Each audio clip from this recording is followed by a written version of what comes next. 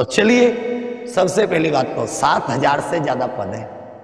खुशी खुशी का सा माहौल है। तुम्हारे अंदर भी, थोड़ा सा हमारे अंदर भी। चलो, लेखपाल बनाने का भी मौका मिलेगा। फिर तुम लेखपाल बन जाओगे, फिर कोई आएगा, कहेगा, आ आ भैया लेखपाल, आ दीवान जी सुनते हो? दीवान जी रुकोगे? दीवान जी तुम तुम लेखपाल बनने के बाद तुम तुम थोड़ी ना रहोगे। तुम तुम थोड़ी ना रहोगे, तुम ओ, स्कूटी पे एकदम यूँ। जा रहे होंगे दीवान जी झोला ठाई। ओ ओ दीवान जी ओ भैया लेखपाल एक बात सुनते हो। हाँ कहा है? काय को रोक रहे हो? ए, भैया, हमारा जाति प्रमाण पत्र बनना था भैया।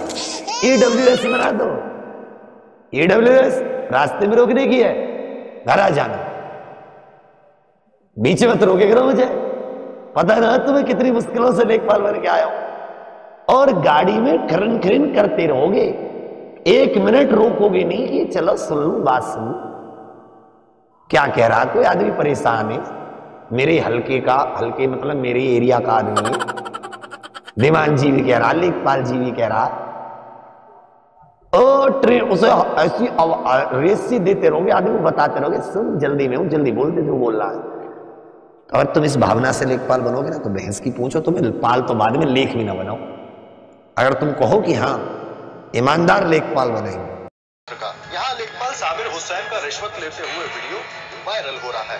लेखपाल साबिर हुसैन विकास खंड बेवर के गाँव टोडरपुर में तैनात है। आरोप है कि साबिर ने हैसियत प्रमाण पत्र बनाने को लेकर रिश्वत मांगी। ईमानदार लेखपाल बनेंगे। अगर कोई कहेगा लेखपाल भैया सुनते हो। तो वहाँ से कह रहा तो उसके पास खुद चले जाएँगे, उसके पास जाके पूछेंगे। और नाप तोल में, खेत की नाप में कोई गड़बड़ नहीं करेंगे, नक्शों में कोई गड़बड़ नहीं करेंगे, अपने इलाके में अवैध निर्माण नहीं होने देंगे। और जिस खेती के लिए किसी सरकारी ज़मीन पे कब्जा नहीं होने देंगे, तालाब पे कब्जा नहीं होने देंगे, तुम लेख भी बनोगे, पाल भी बनोगे, तुम्हारे तुम्हारे आगे भी बहुत सारे काम होंगे। लेकिन पहले you have to take the oath of integrity मतलब तुम्हें पहले ऑनेस्टी की शपथ लेनी लाइक और शेयर ठोक दीजिए महाकाल का आगे लाइक और शेयर ठोक दीजिए। पाँच हज़ार लौटे दिख जाना चाहिए।